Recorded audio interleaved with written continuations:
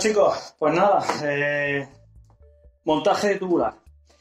El sábado el otro ya mm, dio de sí todo lo que tenía que dar de sí. Un continental de 23 milímetros que me ha durado muchísimo tiempo y estoy muy contento con él. El modelo era un Gator Skin, no era el alto de gama, pero, pero se ha portado, se ha portado estupendamente y, y ya está, estoy muy contento con él. Ahora pasamos a un tubular un poquillo más barato. Este puede salir unos 10, euros más barato que el, que el Gator Skin. Es un tufo, un S33 de 24 milímetros, ¿vale? Lo único que me estoy fijando que no admite tanta presión que, que, otros, pero yo creo que es porque al ser de carcasa dura mm, no hace falta meterle tanta presión. Luego, por ejemplo, tengo aquí un Challenger que, este es de 25 milímetros y sí que te admite entre 7 y 12 bares de presión. Pasa que luego se le nota un tubular muchísimo más flexible y que a la larga, pues me imagino que durará menos. No lo sé porque este no lo he probado. Compré el otro día un, par de ellos y, no he llegado a probarlo. Este es Made in Tailandia, hecho en Tailandia. Pues como todo lo que suele venir de, de tema bicicleta, o casi todo. Y este está hecho en la República Checa, el, tufo. Bueno, mm, lo dicho, me gusta bastante porque aunque lo traje sin, sin pegar, porque evidentemente allí la carretera no te va a poner a pegar, ni te vas a llevar una cinta ni el pegamento, pero se puede terminar el entrenamiento perfectamente. Como era una zona que no había bajada ni curvas mm, pronunciadas, pues bueno, termina el entrenamiento, te vienes para casa y al día siguiente pues se cambia el tubular y sin problema. El tema que me gustó bastante lo que estoy diciendo, el color, queda muy bonito una vez que está montado en, la llanta, me gustó bastante la tonalidad. Eh, ha dado la casualidad de que, de que, de que cogió este tono porque no lo había en negro, pero si ahora cuando ya lo deje montado, igual ni, ni lo pinto ni nada, con un rotulado gordo esto indeleble lo podéis pintar perfectamente. Eh, voy a meterle líquido, lo primero. Eh, este creo que es de, de Decathlon. Según dice aquí, según veo, la rueda de, 28 pulgadas, que sería la de 700, tienes que echarle 120 mililitros de lo que es el bote. Agitarlo bien, porque ya estáis viendo que la goma está abajo. Una vez se agite, le vamos a poner 120. 120 es esta cantidad, ¿se ve? Aquí, sí, ahí se ve. Vale, pegamos lo primero, la cinta, que hay de, dos medidas distintas. Yo he cogido siempre la más fina porque mi llanta es la más fina. Entonces, eh, esta es de 19 milímetros. porque si no, de la otra manera, sobresale un poquito de cinta por los lados y al final, pues se la tienes que quitar con el cúter o, se queda o se queda ahí, o se queda mal. No, tienes que utilizar esta, es la fina. Eh, entonces, vamos a, echarle el líquido, le vamos a montar el alargador, vamos a poner la cinta sobre la llanta y voy a intentar ponerlo para que lo veáis y si en algún momento pues lo tenéis que hacer vosotros también, pues, pues adelante. Empezamos.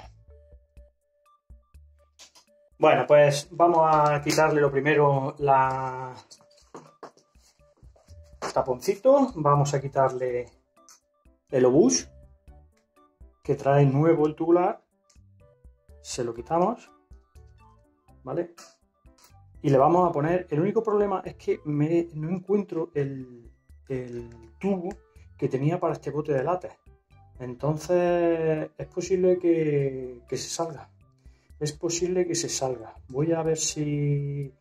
Voy a ver si encuentro una brida y, y se la ponemos. Vale, pues sí, sí que tenía una brida ahí pequeña se la voy a colocar aquí.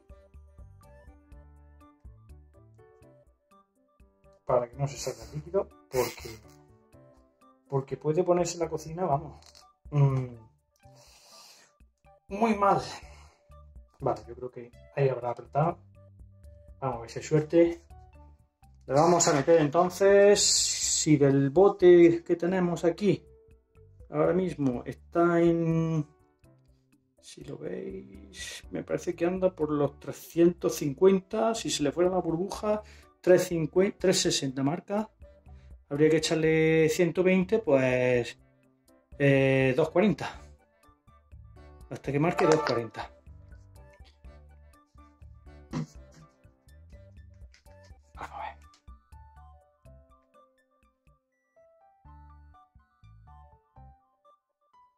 Vale, de momento está entrando bien, sin problema.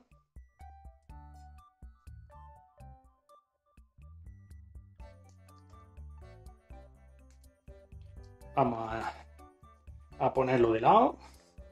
Esto ya lo habréis visto en otros sitios.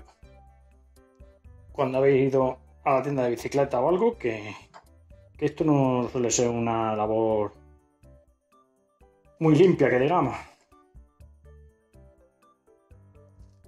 Pero bueno, ahora mismo parece que va bien la cosa. Eso es lo importante. Que terminemos así. Vale, vamos a levantarlo. Ahora mismo un poco le queda. Un poquito le queda, lo vamos a levantar para que baje para abajo el líquido.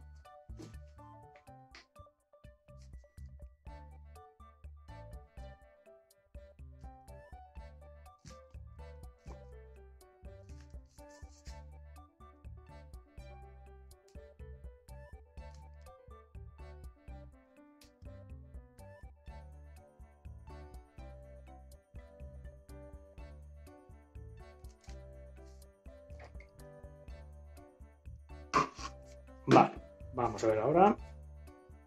Sí, igual un poquito más. Igual le podríamos meter un poco más.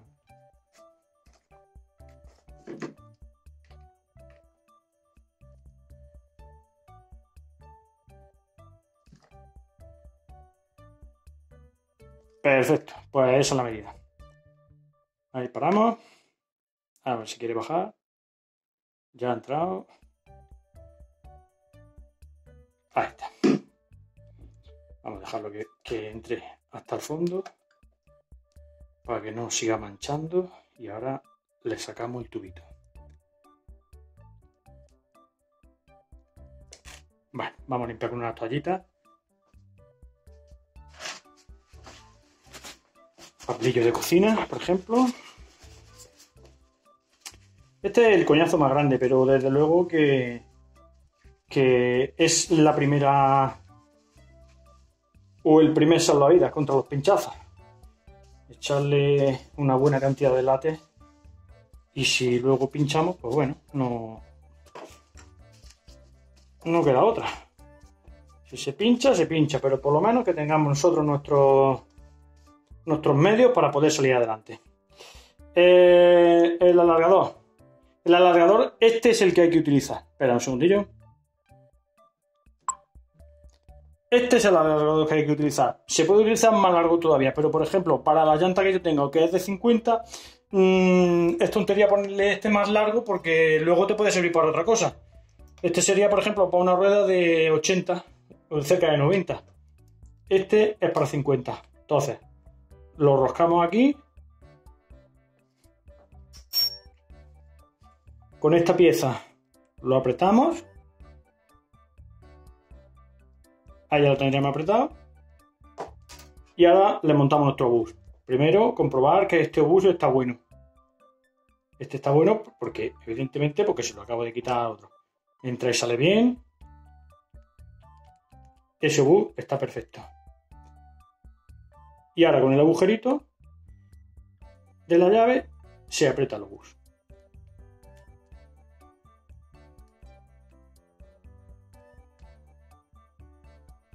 Vale, la primera parte ya la tendríamos. Ahora vamos a pasar a poner la cinta de la cinta de pegado, ¿vale? Es una cinta de doble cara.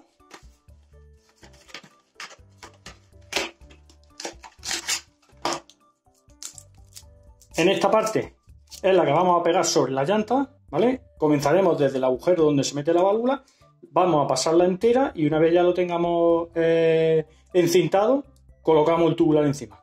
Voy a, voy a cambiar la cámara y ahora lo veis. Bueno, que creo que se va viendo bien aquí, ¿no? Eh, vamos a comenzar siempre un dedo después de, de donde meteríamos la válvula. para que cuando nuestro tubular asiente, mm, lo normal es que quede un pelín levantado aquí. Si ayudamos a que el tubular se quede de la parte de la válvula más pegado hacia la llanta, aquí terminaría nuestro pegamento, aquí no habría nada, por lo que el tubular asentaría más encima de la llanta que encima del pegamento. Mm, con eso todo lo que intentamos o lo que se puede intentar es que luego no haya saltos en lo que es el tubular una vez que lo inflemos. Si tú eh, montas el tubular, todo el pegamento justo donde está la válvula, todo lleno de pegamento y de cinta de pegado, pues seguramente tengas un salto cuando, cuando lo infles. Y, y, es una desagradable sorpresa. Entonces, yo lo digo porque, porque ya me ha pasado. Entonces, así es como muchas veces se, se aprende, De las veces que, que te ha pasado. Bueno, vamos a ir pegándolo todo encima de la llanta.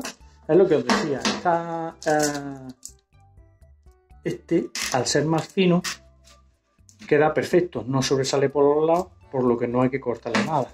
Hay otros que son más largos, más anchos que diga, y,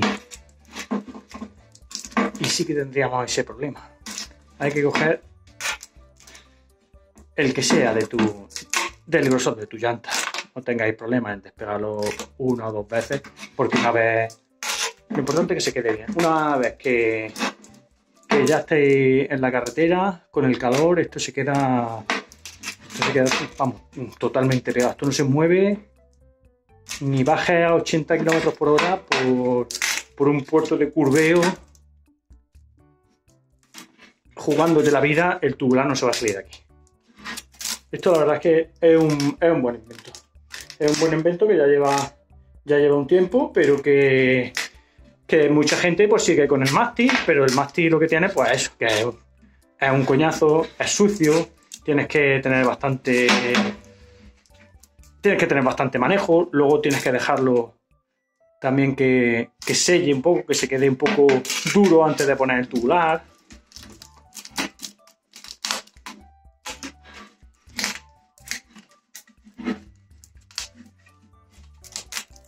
Vale, yo creo que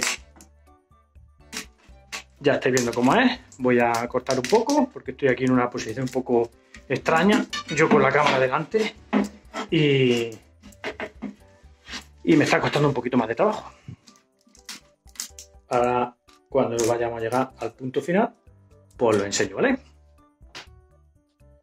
Vale, pues ya está todo encintado Mismo proceso, vamos a dejar una separación que más o menos va a ser eh, aquí. Ahí lo vamos a cortar. Y ya estáis viendo cómo se despega. Sobre esta parte es la que vamos a montar ahora nuestro tubo. Podéis despegarlo, lo podéis volver a poner si queréis. Ahí. Le voy a cortar un trocito más.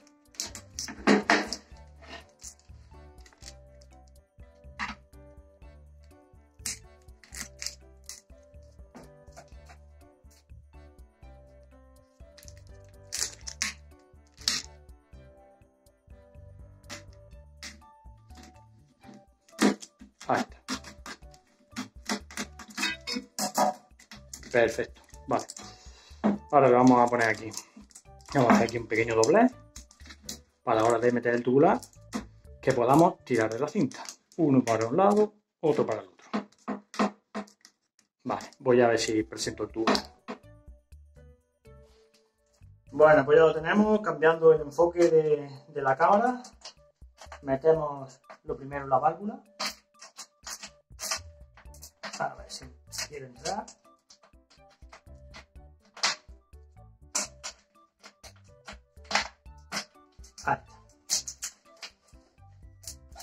Las dos tiritas, una para cada lado.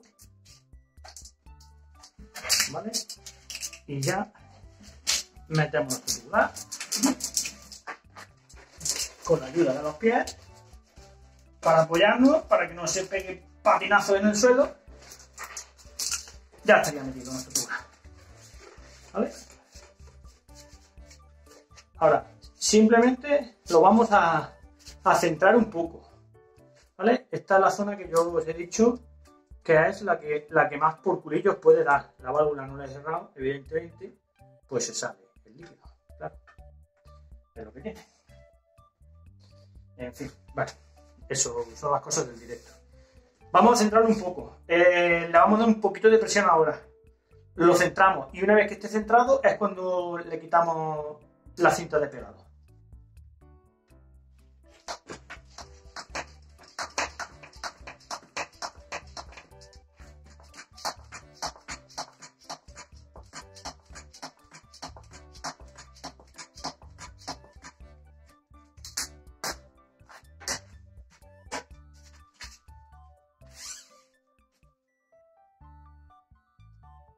El centrado prácticamente es que, es que se hace solo, es que queda, queda perfecto, vamos. Es que queda perfecto.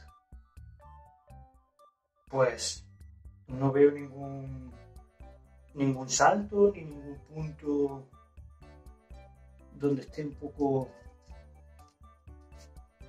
más metido de un lado que de otro. Eso es lo que hay que observar. En definitiva, ahora mismo lo veo bien. Como la presión ya al quitar la cinta va a hacer que no se salga el tubular de ningún lado, pues podemos quitarle la cinta.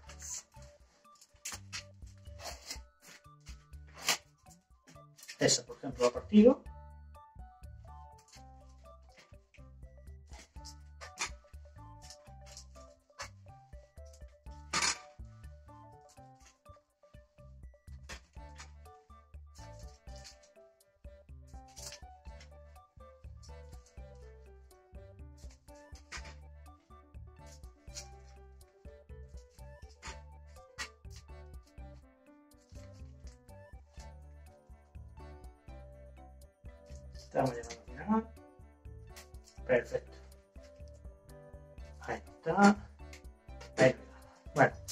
Pues nuestro tubular ya está montado y ya está prácticamente pegado. Vamos a darle la presión buena.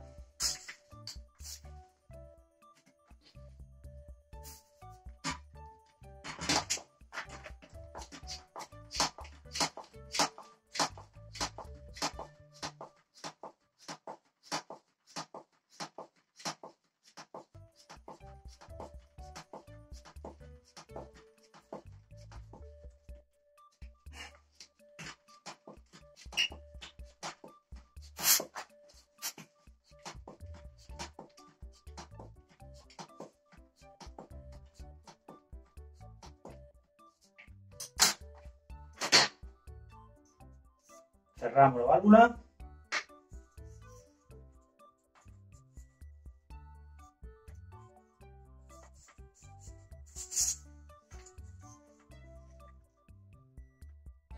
Ya. Vamos a limpiar aquí. Un poquito. Se ha quedado perfecto. Lo único que le faltaría es ponerle un trocito de cinta aislante la tenía por aquí cerca. Aquí con la ayuda de una tijera. Le vamos a poner un trocito de cinta aislante en la válvula. Para que luego, cuando coja los baches, no, no sea el badajo de una campana. Vale, tenemos aquí justo pinchamos en el centro. Ahí está. Un trocito por aquí. Y otro poquito por aquí.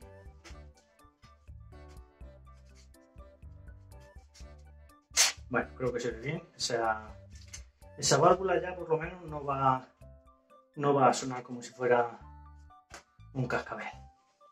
Se ha quedado una presión, creo que buena. Vamos a sentarlo.